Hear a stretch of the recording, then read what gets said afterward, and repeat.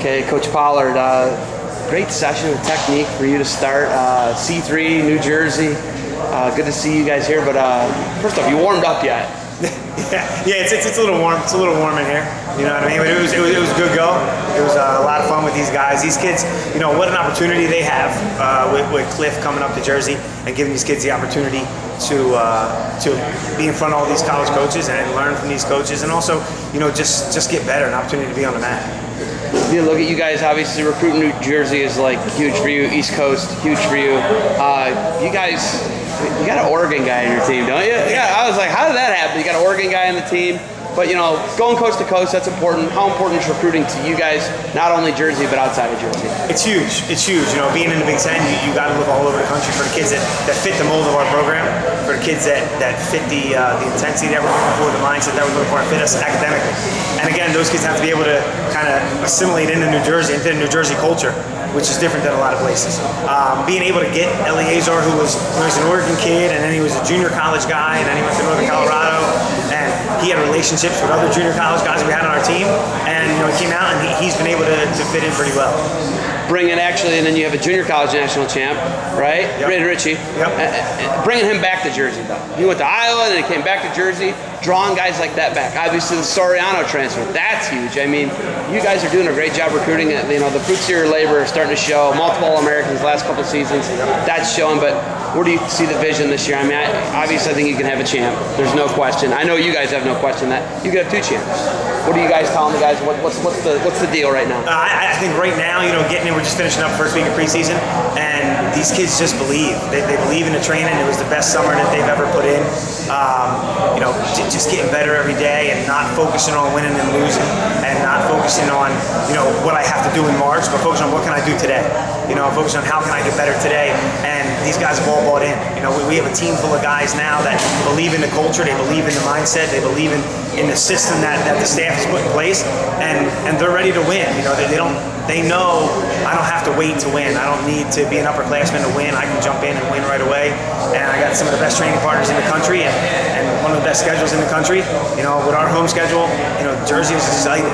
Jersey's excited for Iowa at home, Penn State at home, Ohio State at home, Minnesota at home, Maryland at Yankee Stadium on November 4th. So, you know, it, doesn't get much better than that. And these kids are excited for the challenge. You know that Yankee Stadium one. That's that's huge, man. I mean, that's that's the mecca of stadiums. I mean, 27 world time world champions, the the greatest franchise of franchises in all of sports. Right? And I'm an Indians guy, and I have a hard time admitting that, but, but it's a fact. Yes. It's you know, it's black and white. It's there. It's numbers. Going there, getting that whole thing. How huge is that promotion-wise, and what does that do to you guys in this whole tri-state area? Ah, it's, it's tremendous for us. You know, what exposure for our program, what exposure for our kids, for our university. You know, last year we had the stadium match at Princeton, almost 17,000 people. You know, unbelievable job of the marketing teams and, and the programs getting all these people excited about it. And then a great product on the mat, and now we get to go to Yankee Stadium.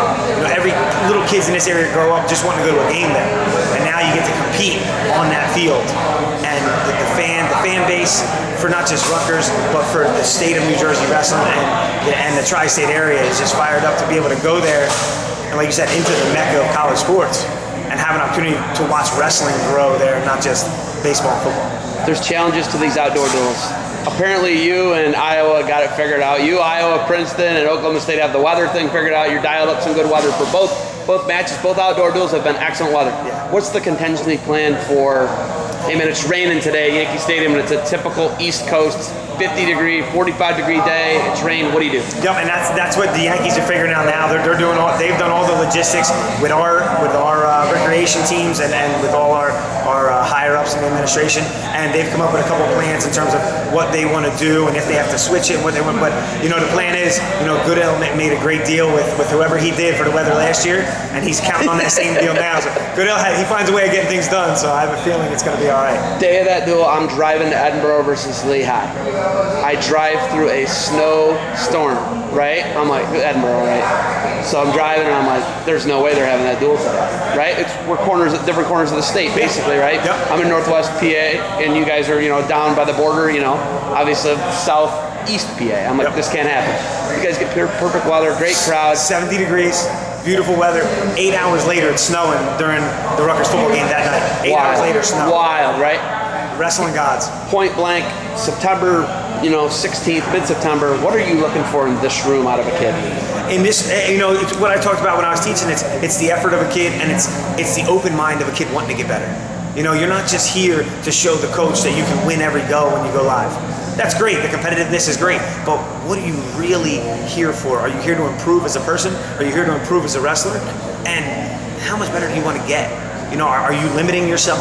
I had, you know, I'm a D3 kid. I'm a D1 kid. No, it's it's your effort. It's your effort in every position. It's your effort to learn. It's your attention to detail, and it's how focused are you?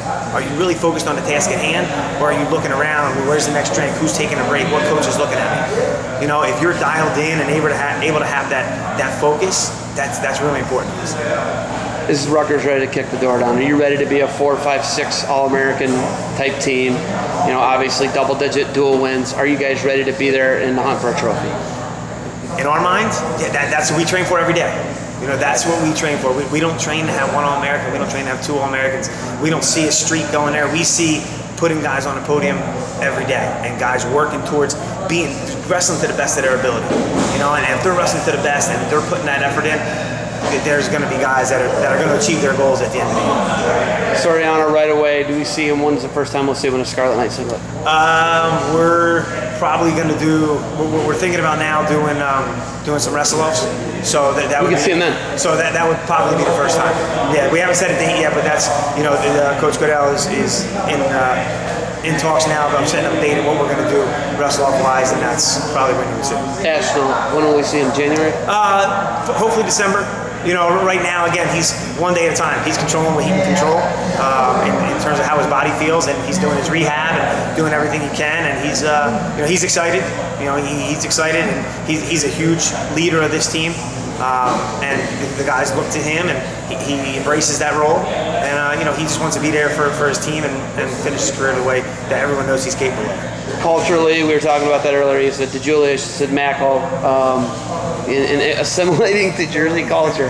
How much did my Uber ride cost last night from LaGuardia to Fairlawn, New Jersey? 22 miles. How much did it cost? $145. 148 bucks. Unbelievable. Unbelievable. It was 100 bucks plus the tolls. That's crazy. Imagine what people live, pay to live here. It's wild. All right, coach. You got to ride uh, about an hour ride back down to, to Rutgers. You got anything else for me? No, man, really appreciate what Flo does, and um, you know, thanks a lot for everything, and you know, looking forward to a great year.